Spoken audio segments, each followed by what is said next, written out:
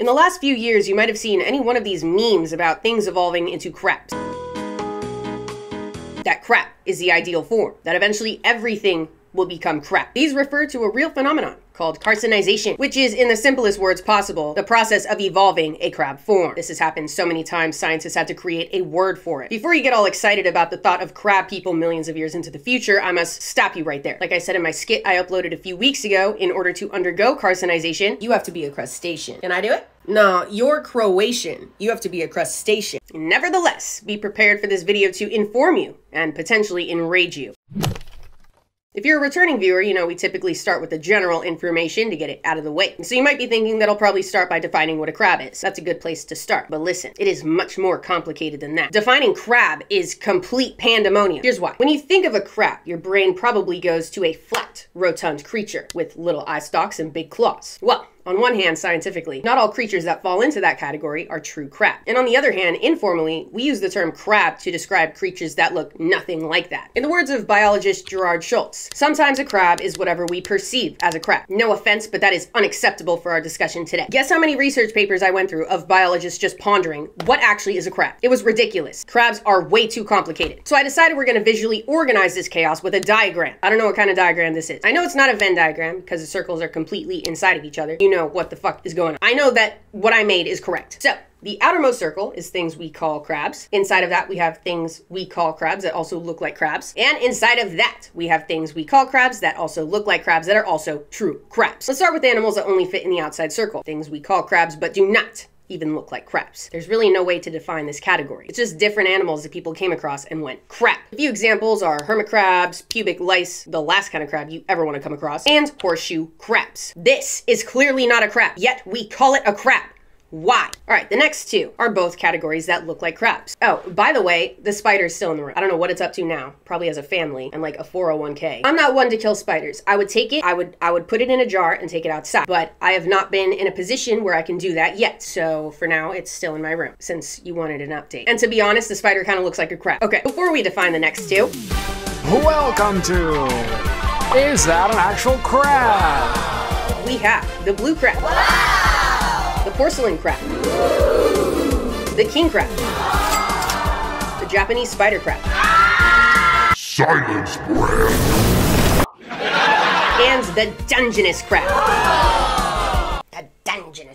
At first glance, these all look like true crabs, but they are in fact not. Let's start by identifying the true crabs, the smallest circle. This is the Dungeness crab, the Japanese spider crab, which can get to like 12 feet long. They're fucking huge. And the blue crab. What do these three crabs have in common? Well, they definitely look like crabs, and they all belong to the same taxonomic group called Brachyura. Whenever we talk about taxonomic groups, we're talking about things that are related to each other through a common ancestor. These groups can be as big as phyla that I've shown you a diagram of. Each of these generally has a common ancestor that was alive like half a billion years ago. So these are really generic big groups. Or the groups can be as small as the big cat genus Panthera, whose common ancestor was alive like 6 to 10 million years ago. It depends on how generic or specific the group you're talking about is. And in this case, with Brachyura, all of its members have a common ancestor that was alive sometime in the early Jurassic period, nearly 200 million years ago. This was the beginning of the true crab lineage, the flat and rotund shape. And so, True crabs are defined by blood. They have their own little familial club. And throughout time, other crustaceans outside of Brachyura have wanted in on that body form. They evolved over millions of years and achieved this ideal shape, but are still not invited to the club. This is where the bulk of our carcinization talk exists. In our last circle to visualize, the in-between look like crab but not true crab, with examples like the porcelain crab and the king crab, which with a name like that you'd expect to be a true fucking crab, but it's not. We refer to this group, the in-between circle, as the false crabs.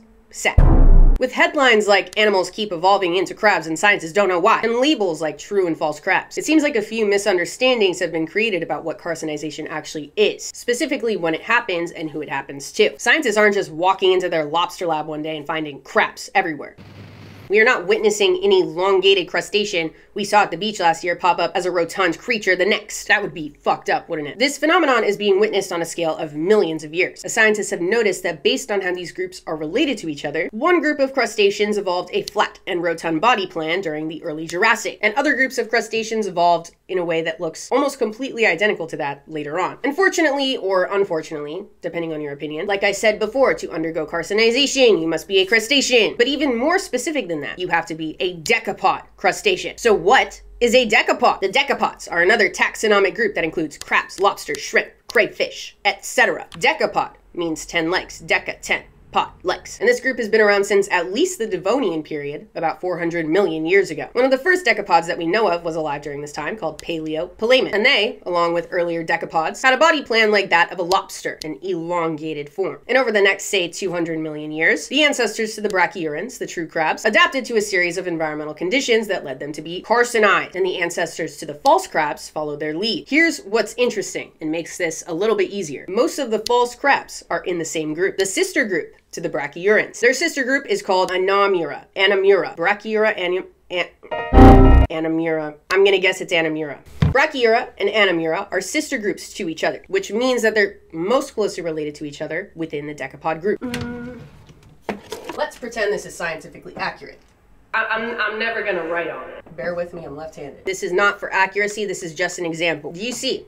How these two are most closely related to each other within this entire decapod group. That is what a sister group is. They got their own little thing going on. These two groups share a common ancestor that at some point split, with the brachyuran lineage going crab and the anomuran lineage going kind of fucking shit digging all over the place. I'm not gonna say that way. They had a diversity of body form, like squat lobsters and hermit crabs, and some of them were really just fucking with what the brachyurans had going on and followed their lead, and got carcinized.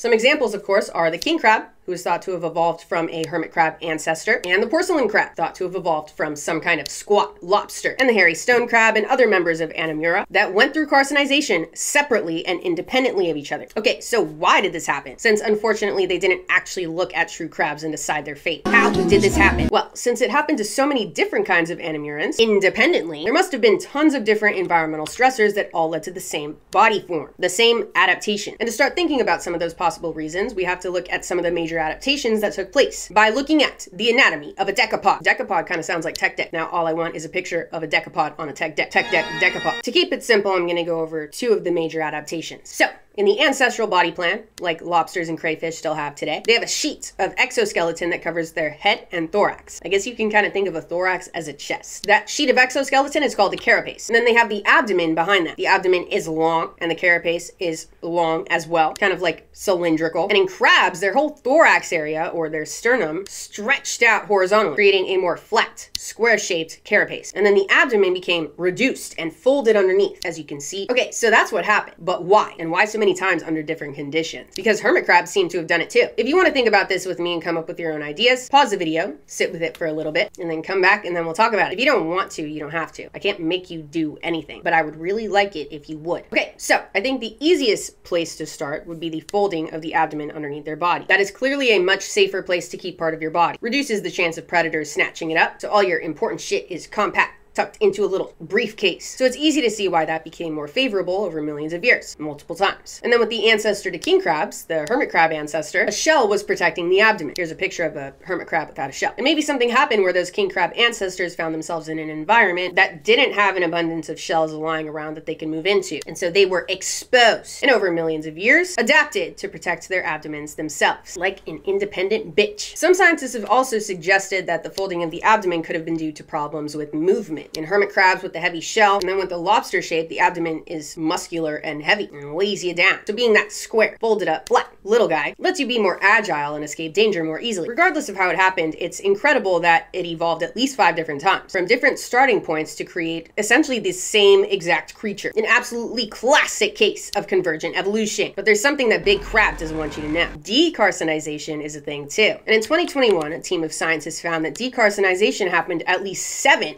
different times, including in the true crab lineage, the brachyurans. I will show you two of them. The frog crab. What the fuck is that? Unusual to say the least. They clearly have a longer carapace than the crab form. Their abdomen is sticking out. And my favorite extinct crab, alive 95 million years ago, called Callichimera perplexa. They were quite perplexa in a few different ways. They had big eyes with no sockets, mouth parts that looked like legs, and bent claws. And also had a more elongated carapace, unlike their brachyuran brothers. And their abdomen was poking out too. These both serve as a perfect example that even though we joke about crab being the final form, that is not actually the case. Like any discussion of the evolutionary history of any group, what exists today is in transition, meaning even though we exist on a scale of time where everything feels set in stone because our years feel relatively long, every population is still responding to changes in their environment and evolving on scales that are just too small for us to observe in most cases. We just so happen to live in this specific moment with billions of years behind us and billions more to come where multiple lineages have the crab form. And what happens in the billions of years to come can only be left to our imagination. If you like this video, be sure to subscribe so you don't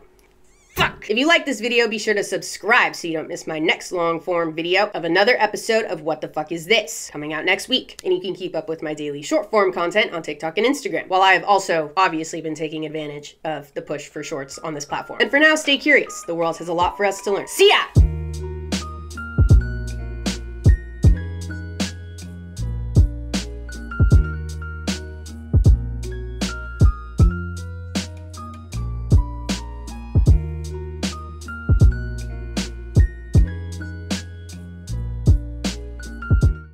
In the last few years, you might have seen any one of these memes about things evolving into crabs. I swear to God.